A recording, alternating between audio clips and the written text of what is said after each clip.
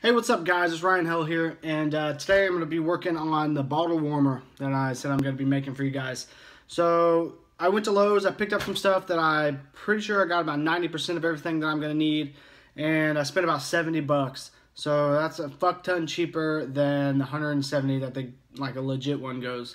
Um, so, what I bought, I got a bunch of little odds and ends, just a bunch of like copper pipe fittings and stuff, and I got 20 foot of quarter inch copper tubing.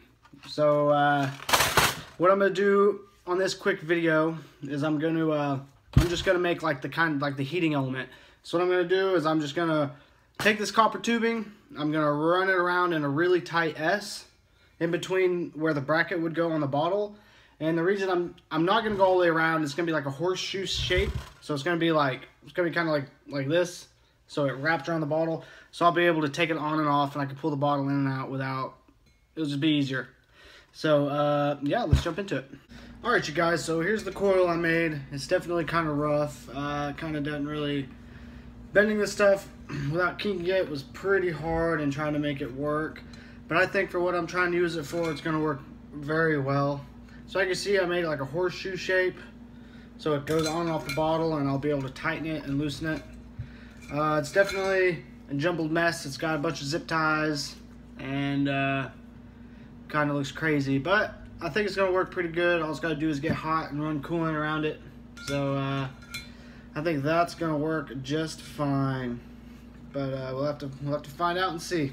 All right, you guys. So pretty much here's the setup and how it's going to be in the car. All right, so this is what I got going. I know it looks pretty crazy. It's definitely pretty bulky, but uh, there's the copper heating element that I made.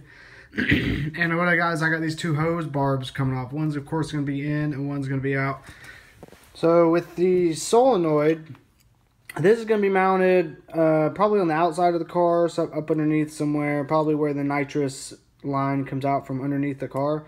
This pretty much is going to be connected from here to one of these sides, and it's going to cut uh, water or coolant on and off to the coil. Get this hot or get it cold.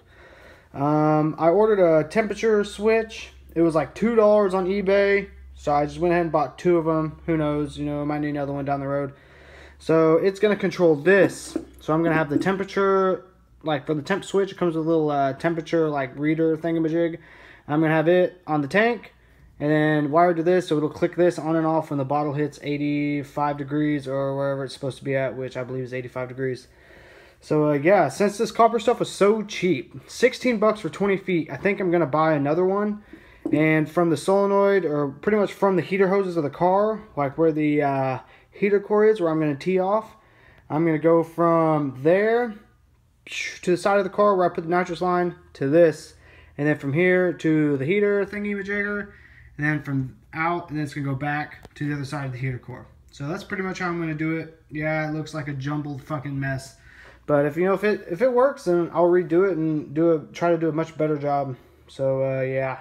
All right, you guys. So pretty much that's how I'm going to be doing my bottle warmer, and hopefully it'll work. Hopefully by the end of the week I'll have it done, and I'll do like a testing thing with the infrared gun. I'll hit it, and I'll make like a graph just to see how fast it makes the bottle warm up, if it even does at all. It should you know, it, it gets hot, so it should heat up the bottle.